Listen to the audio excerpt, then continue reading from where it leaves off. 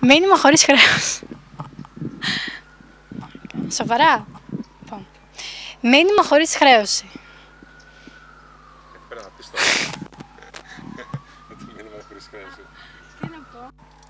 Πάμε. Μήνυμα χωρίς χρέωση. Εχθές οδήγησα μέσα στη βροχή, μέσα στην πόλη. Έκανα τον κύκλο της κεντρικής πλατείας. Το πήγα στο σπίτι μου και το πάρκαρα. Τραγάρεις κανένα. Ήμασταν στη στάση 40 εκκλησιών. και παραλίγο. ΣΥΡΙΖΑ πήραν αυτοκίνητο, δεν το χτύπησα, εντάξει. Δεν σου καθρέφτη. Όχι καθρέφτη, το μπροστινό το φανάρι θα χτυπούσα. Συγχαρητήρια κυρία Κυράκη.